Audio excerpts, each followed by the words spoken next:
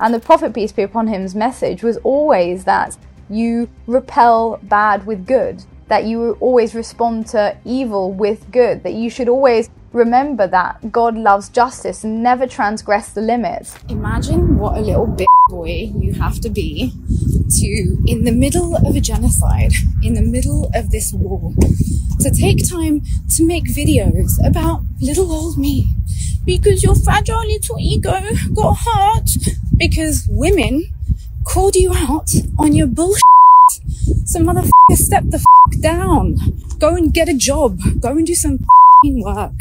Put your energy in service to the struggle and sound the f down. This is the story of feminist Muslim Myriam Francois Cerrah and her slow descent into madness. Myriam accepted Islam in 2003 at the age of 21 and was soon featured in many Islamic platforms. From her early days in Islam, it was very clear that she had mixed her Islamic identity with feminist ideologies, but nobody has called her out until now. Mariam Francois Cerrah is a 42 year old French journalist who's done some good works for the Palestine cause. And also, she, I remember watching some of the things that she used to do on something called Big Questions, which is a program that used to come every Sunday in the UK. And she was one of the main protagonists, in fact, advocating the pro Islamic position, you know, clarifying some of the misconceptions about Islam. Very articulate, very good. And unfortunately, I don't know what's happened. One of my friends sent me a lecture of hers where she delivered and she delineated her positionality, if you want to call it that, both theologically and ideologically. I want to leave you with one clip and then come back and respond to it in kind. Defensive posturing about the great gains Islam brought for women in the 7th century says nothing about whether or not it continues to be a force for good in the advancing of women's rights today. This first clip here, she is questioning whether or not Islam is a force of good in the modern world. Now, someone may make a plethora of different excuses for her and say that she was just doing this. Maybe I'm misinterpreting what she means by Islam. Maybe she means it in a civilizational sense. Maybe she means it in some other sense. Okay, no problem. Let's look at the second clip. And high profile cases of sexual slavery from India to here in Europe are sadly far too common.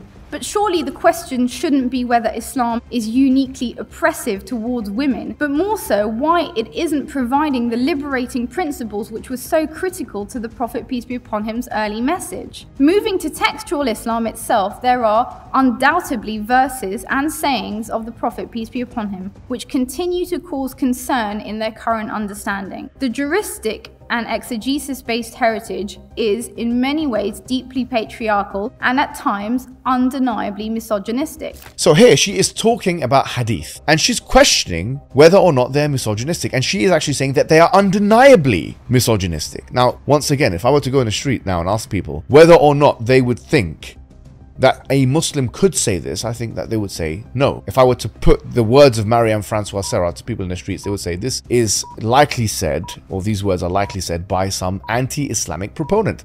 Someone may say, okay, well, maybe she meant that, maybe she meant this. Let's take a look at the third clip. How can we claim misogyny is not an issue when so called moderate interpretations claim that verse 434 allows a man to physically admonish his wife using a miswak or, if he's super modern, a plastic toothbrush. How can we accept the underlying power relations which see women treated in an infantilizing and demeaning fashion, smacked like a naughty child by a man assumed to have superior and unquestionable authority over her? We have a problem when the most progressive interpretations continue to argue that this is merely a symbolic gesture Symbolic? Symbolic of what, we must question? Of power relations which give men the right to treat grown women like petulant children. My feeling generally about religion is that it ought to elevate the soul to higher ethical planes. If we fall back on the all too easy,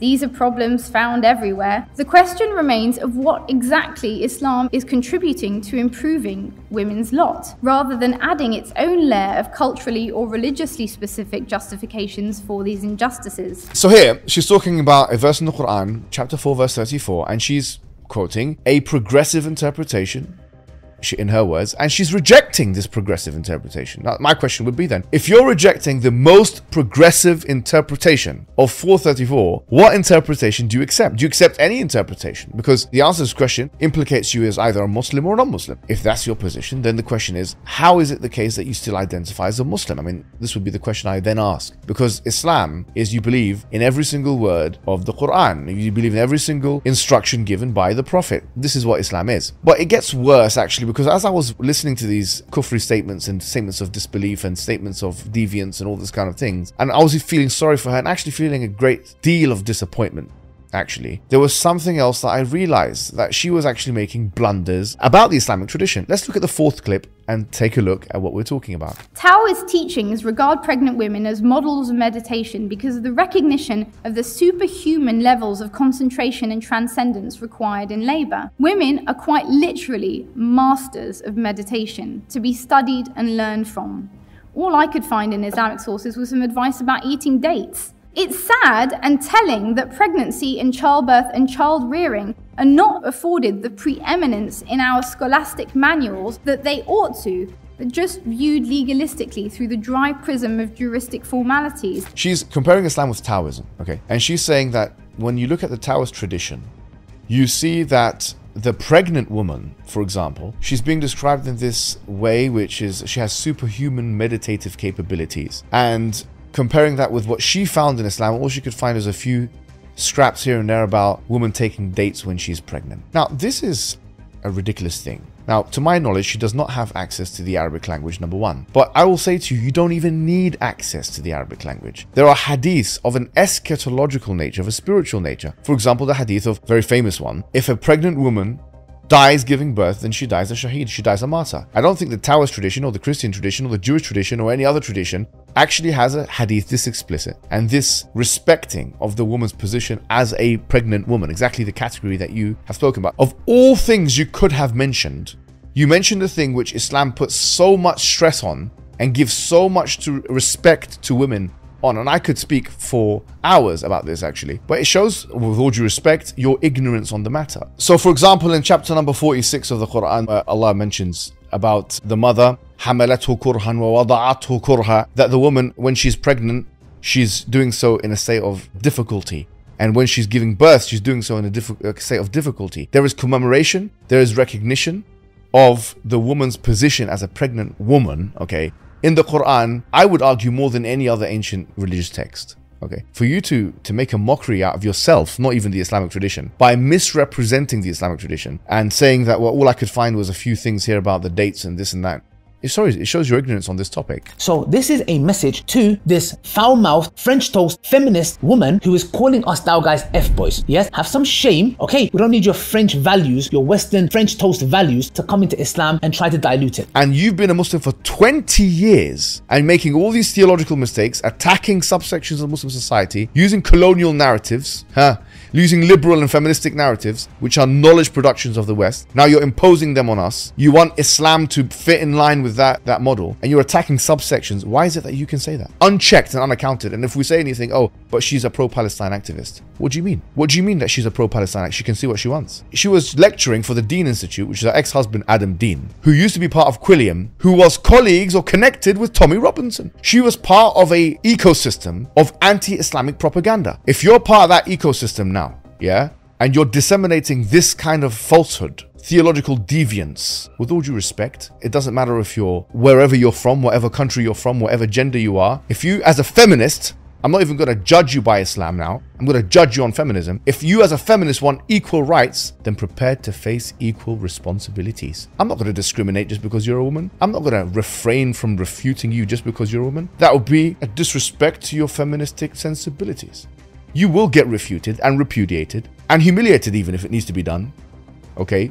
If you come out against any members of our society, and just because you had that card, I don't know if, you still identify as a Muslim, as a Muslim, now you can go further than any white feminist could, by the way. A white feminist could not say the things that you're saying without being labeled as an Islamophobe just to let you know. And you know, just because you had membership of that group at one point in time, and once again, I don't know if you still maintain membership there, that you can go further and in the same video, you're attacking Imam al-Ghazali, you're attacking al-Qurtubi, you're attacking al-Shafi'i, huge scholars, and you can't even speak, you can't even uh, uh, uh pronounce enunciate the Arabic language properly. And you have the right now, you think, because you've got you've had some Western education that you can go and attack a whole different tradition with your colonial mentality.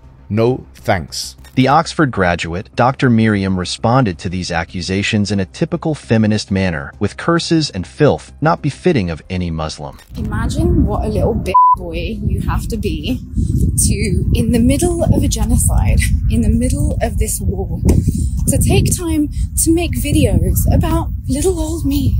Because your fragile little ego got hurt because women called you out on your bullshit so motherfucker, step the f- down. Go and get a job. Go and do some work. Put your energy in service to the struggle and sound the f- down. Myriam continues to evade answering these important questions and continues to post content that goes against Islamic teachings on her social media platforms while shedding all forms of modesty, both in dress and speech. Let this be a lesson for all Muslim women who are impressed by Western feminist ideologies. This is where it leads. Feminism will eventually injure Islam. May Allah guide Myriam and all of us.